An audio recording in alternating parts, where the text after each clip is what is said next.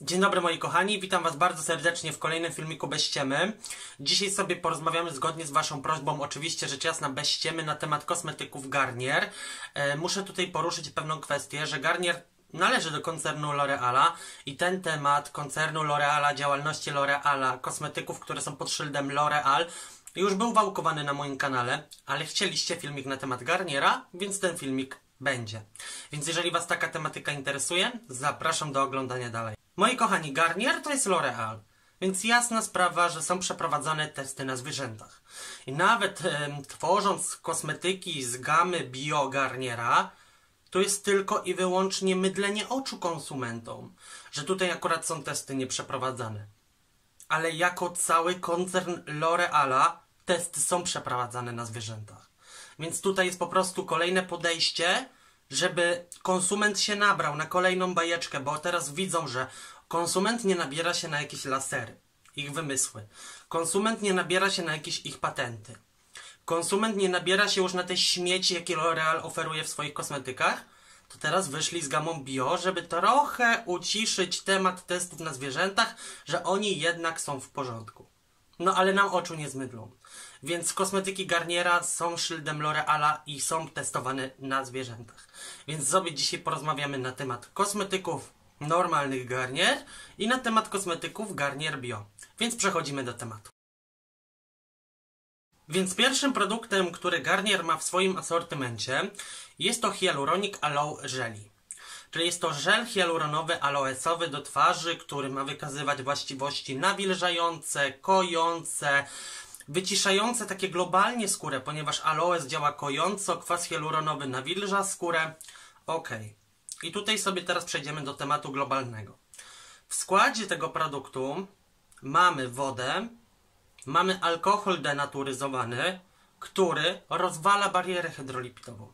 A jeszcze, jeżeli go używamy w zimę, no to ja nie wróżę dobrej przyszłości, naprawdę, jeżeli chodzi o kwestię stanu skóry. Alkohol denat jest stosowany, jakby wam to powiedzieć, w szerokim zakresie stosowania. Ma szerokie zastosowanie. Jest konserwantem, jest promotorem przenikania substancji czynnych w głąb skóry, czyli pozwala substancjom wnikać głębiej. I oczywiście, rzecz jasna, alkohol jest y, jeszcze dodawany do kosmetyków, żeby pełnił funkcję dezynfekującą, odkażającą, bakteriobójczą. I tutaj na przykład są konserwanty, które nie są szkodliwe dla naszej skóry, ale Garnier, L'Oreal stosuje alkohol denat, dlatego, że jest najtańszy. Alkohol denaturyzowany jest bardzo tanim konserwantem i tutaj alkohol denat akurat rozwala całą barierę hydrolipidową. Ja już Wam powiem, jak to mniej więcej wygląda. Macie na własnej skórze taką tarczę ochronną, jaką jest bariera hydrolipidowa. I ta bariera hydrolipidowa chroni waszą skórę przed namnażaniem się różnych bakterii, przed ucieczką wody z naskórka. Po prostu to jest taki obrońca waszej skóry. Jest to taka tarcza, która chroni waszą skórę przed wszystkim, co jest złe. I wyobraźcie sobie, że z chwilą, kiedy nałożycie na skórę produkt z alkoholem denaturyzowanym, to alkohol denaturyzowany bez problemu przejdzie przez tą barierę hydrolipidową, ściągnie ją, czyli ją rozwali i wyrządza spustoszenia w skórze. Czyli naraża skórę na intensywne wysuszenie, odwodnienie, na ucieczkę wody z naskórka. I tutaj nie możemy już mówić o dobrych właściwościach. No i dodatkowo podkreślam, że alkohol denaturyzowany upośledza pracę gruczołów łojowych. Czyli taki alkohol zastosowany na skórę, który już wchłonie się w skórę i naruszy tą barierę hydrolipidową i już dochodzi do naruszenia skóry, i tutaj jest odwodnienie. Ucieka woda z, z naskórka, wszystko się dzieje. To nasze gruczoły łojowe zaczynają się bronić, ponieważ skóra naturalnie chce być natłuszczona, nawilżona, zabezpieczona. I alkohol denaturyzowany pozbawia ją jakiegokolwiek zabezpieczenia na skórze. I skóra po prostu swój ruch obronny, po prostu normalny, wysyła do skóry, żeby wytworzyć tłuszcz, który nas ochroni, żeby znów woda z naskórka nie uciekała ale w efekcie takiej nadprodukcji, bardzo szybkiej łoju, żeby skóra się wybroniła, żeby skóra miała ochronę, pojawiają się niedoskonałości, pojawiają się wągry, pojawiają się zaskórniki. Ponieważ ten łój, który jest produkowany, jest produkowany naprawdę w bardzo dużej ilości. Ponieważ skóra potrzebuje natłuszczenia, skóra potrzebuje ochrony, a alkohol denaturyzowany wszystko rozwala. I okej. Okay. I tutaj temat alkoholu denat poruszyłem. Dodatkowo w tym produkcie mamy aloes, mamy kwas hialuronowy. I to są humektanty, czyli substancje nawilżające, substancje wodne, żeby to tak powiedzieć. I one wymagają zamknięcia w skórze emolientem, czyli tłustym środkiem, żeby to nie wyparowało po prostu ze skóry.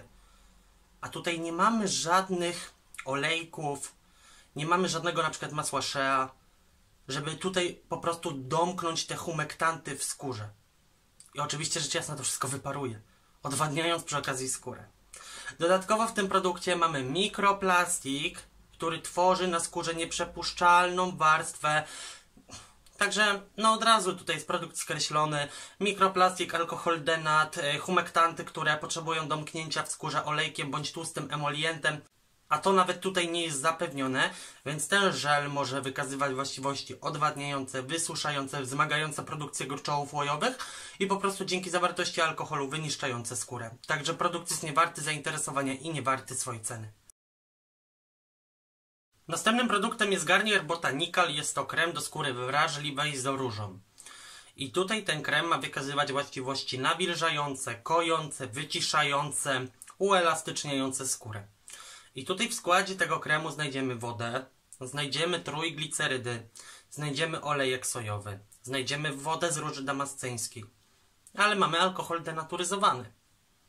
Więc tutaj tak naprawdę te wszystkie dobre substancje i po prostu te składniki przepadają. Ponieważ alkohol denat zastosowany w tym preparacie upośledza barierę hydrolipidową, wzmaga pracę gruczołów łojowych, odwadnia skórę, przesusza skórę. Tutaj nie mamy żadnych właściwości nawilżających, ani regenerujących tym bardziej. Jest to totalny absurd, ponieważ zastosowany alkohol denaturyzowany po prostu wyniszcza naszą skórę. Gdyby usunęli ten alkohol, to byśmy mogli mówić o tym, że jest to krem nawilżający. Ale jest to alkohol denat, czyli jest to wyklucznik. Niemożliwością jest stworzenie kremu nawilżającego, który ma jednocześnie być kojący, a wlewają do niego alkohol denaturyzowany. Wiesz, to od razu się wyklucza, samo jedno z drugim się wyklucza. Także produkt jest niewarty zainteresowania i niewarty swojej ceny. Następnym produktem, który na pewno powinien być Wam e, bardzo dobrze znany, jest to Moisture Bomb maska do twarzy w płachcie. Jest to maska, która ma wykazywać bardzo intensywne właściwości nawadniające, nawilżające, żeby to nawilżenie utrzymywało się nawet do kilku dni na skórze.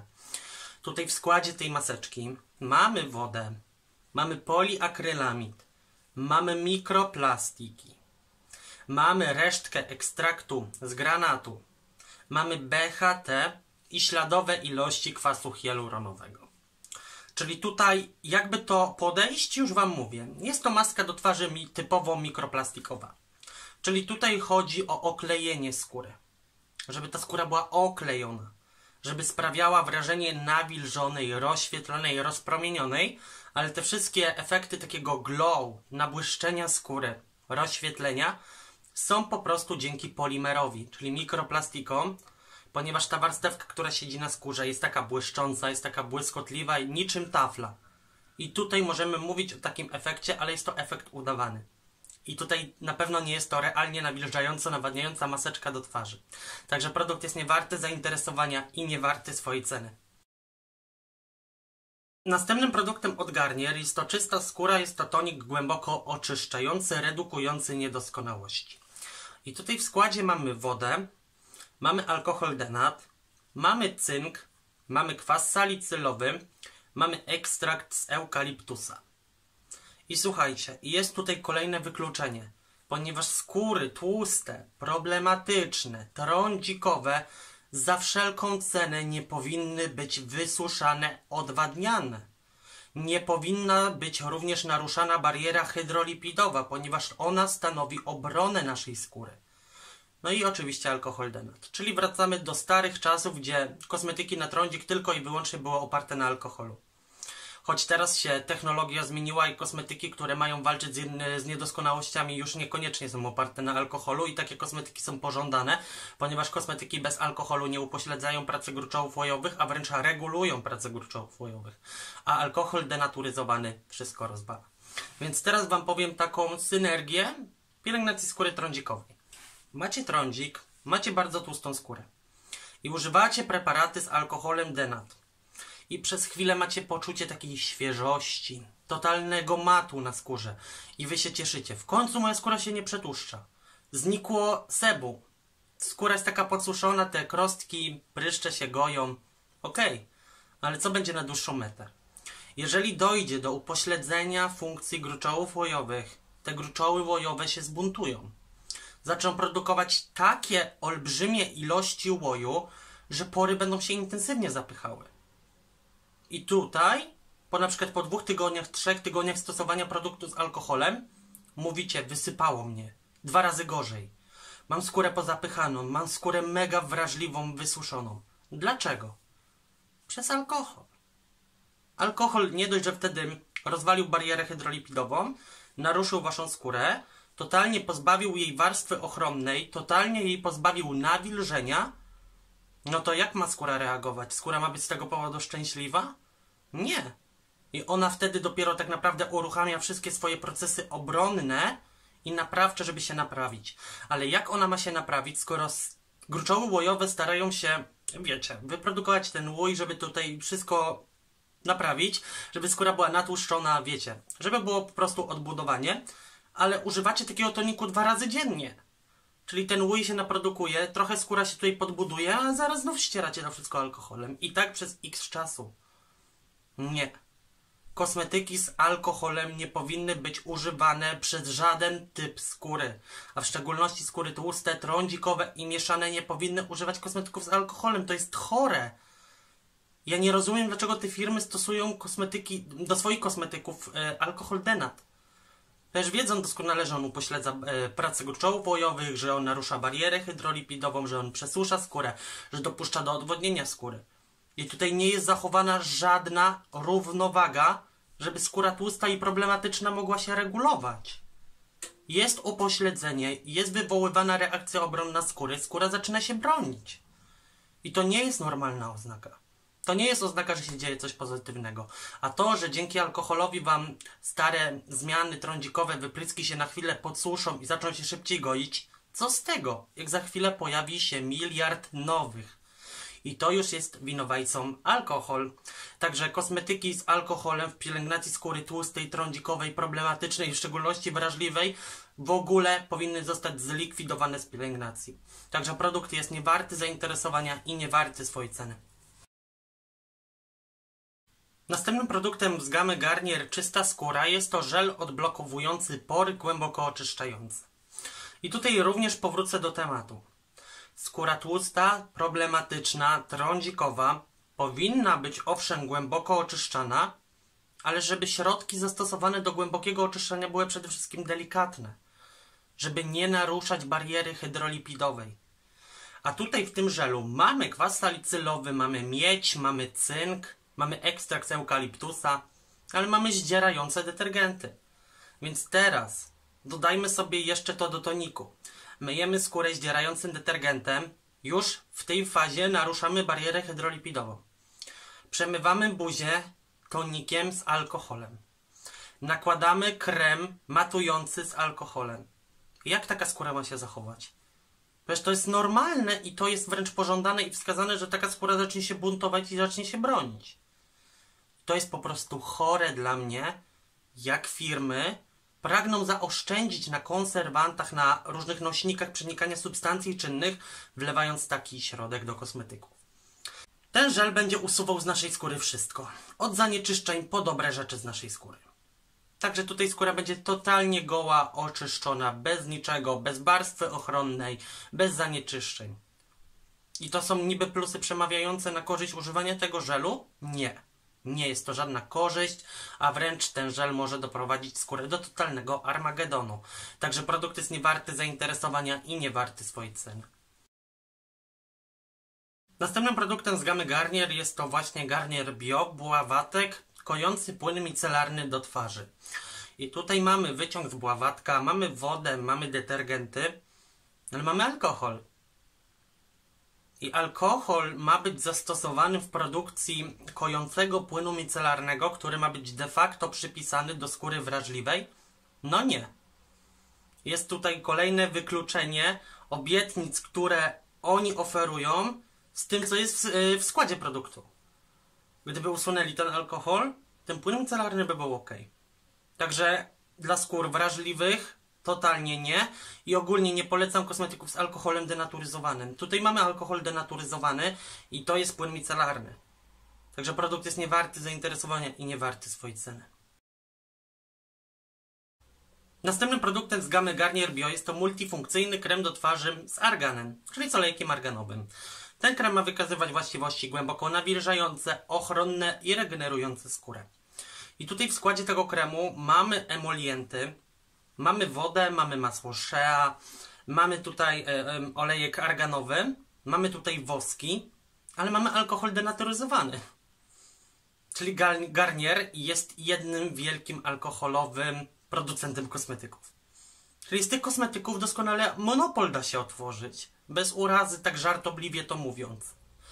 Jaki sens do kremu ochronnego, głęboko nawilżającego jest dodawanie alkoholu denaturyzowanego?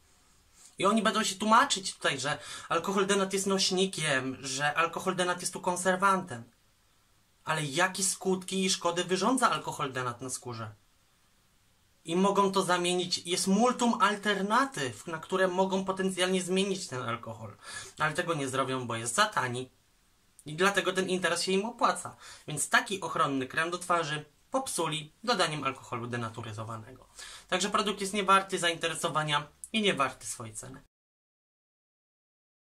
Następnym produktem z gamy Garnier Bio jest to oczyszczający tonik do twarzy tymianek. I tutaj w składzie mamy wodę, mamy alkohol denat i wyciąg z tymianku. I tutaj znów w toniku dali alkohol.